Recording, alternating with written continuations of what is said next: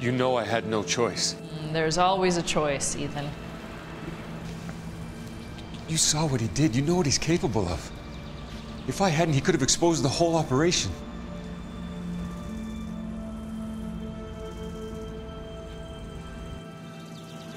You're right, there's always a choice. And I made mine. And you made the right choice. I always knew there was something about you. Not a day in the last three years have I ever questioned your loyalty to our cause.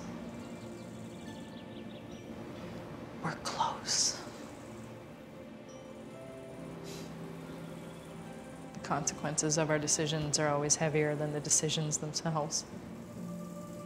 But I need you on your game, Ethan. Can you do this? Yes, ma'am. I just needed a moment. Let's get back to work. Guys, he had a tracker on him.